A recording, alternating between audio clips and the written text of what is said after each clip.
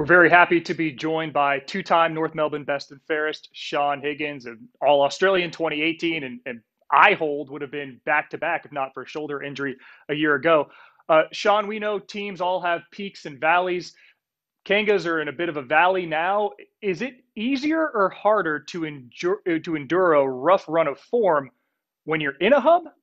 Well, the interesting part on that, Phil, and thanks for having me on uh, today, is that in some ways it, it can be easier as long as the energy and the camaraderie within the boys is up because we're 24 7 living together at the moment in unusual circumstances. So, not getting the result that we would like on the field at the moment. But the good thing is we've got plenty of time to spend together uh, with our coaches as well and really knuckle out the way that we want to go about the way we're playing and our game plan and areas that we can improve. And as you mentioned, we're currently living in a hub at the moment.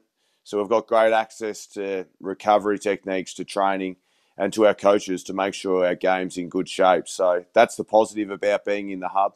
But I think it comes back to making sure that the vibes up and the positivity's up around the playing group, just to make sure that people are still enjoying their time here while difficult times in the two hours of playing at the moment for us that we're not getting the result.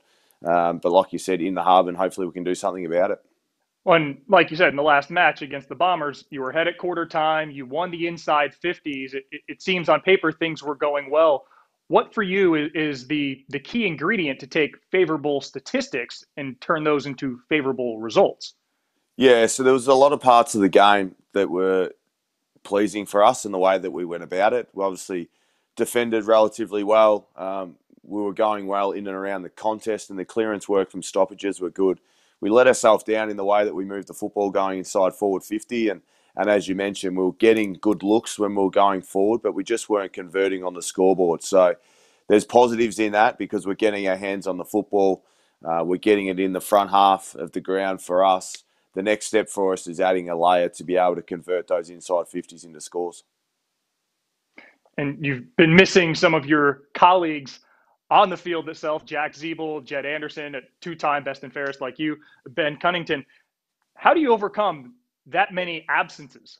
Yeah, well, we've got some great young guys that are taking really promising steps going forward. But clearly, when you've got senior guys out, including Jack, who's our captain, Ben, who uh, won the best and fairest last year, so there's voids there that we need to be filled. There'll be a couple of players come back this year, uh, sorry, this week for the the upcoming game that hopefully gives us a spark and can generate some some better ball movement and goals on the scoreboard.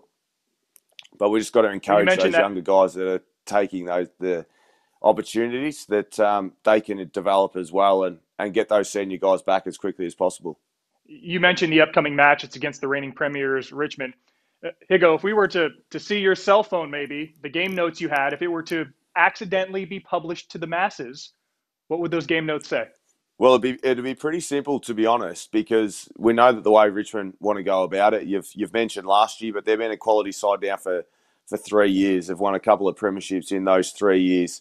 They're an attacking, fast, forward-moving team. Um, we've got to make sure defensively we're set up really sound. We go to work around the ball, which we have been doing. But the next layer for us is that we need to convert our inside 50s into scoring opportunities uh, and looking after the football and giving our forwards a really good look when we're transitioning the football into our forward half. Uh, it sounds easy uh, on theory and, and on paper, but hopefully we can do that this week. Well, their last win over the Swans, it was, it was kind of an American football score, 34 26. And, and Dimma didn't hold back frustration with some of the Swannies' tactics.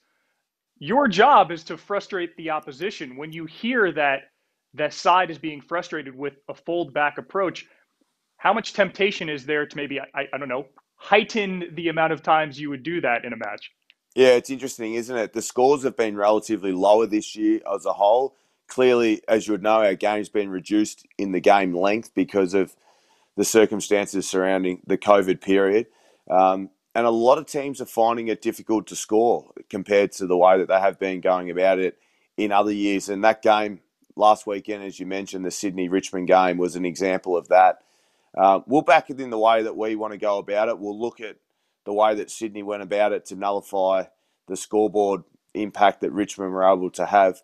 But we'll back our game plan in in the way that we want to play, and and we're confident if we do that and we improve some areas as we mentioned uh, prior, then we can give it a really good crack this weekend and and challenge Richmond, who who are one of the better teams in the competition. Here you go. Last question from me. You're from Geelong. You know how iconic uh, the grand final is at the MCG. What are your thoughts about conversation regarding moving this event out of Victoria for the first time? Yeah, it's going to be a huge call. I mean, football in Australia is huge, but football in the in the heartland of AFL territory is Melbourne and has for, forever been at the home of football, the MCG. And clearly, there's contractual obligations there that are in place. But also on the flip side, the importance of having a crowd and what that generates for the game. That maybe we, we the discussion needs to be had, and we can look at potentially what's best for the game over the next couple of months. The interesting thing is it's forever changing here so quickly. One day it's different to the next, but um, in some areas around our country, we're able to have 30,000 people and half fill a stadium. Unfortunately, that's not the case in Melbourne at the moment, and all the teams that base themselves in Melbourne, along with the MCG, that's suitable for a grand final, um, isn't able to facilitate football at the moment. So that conversation is going to need to be had in the, in the upcoming months. Higgo, delightful having a chat to you here on SportsCenter. Thanks so much, and all the best for you and the Kangas going forward. I enjoyed it. Thanks for having me, Phil.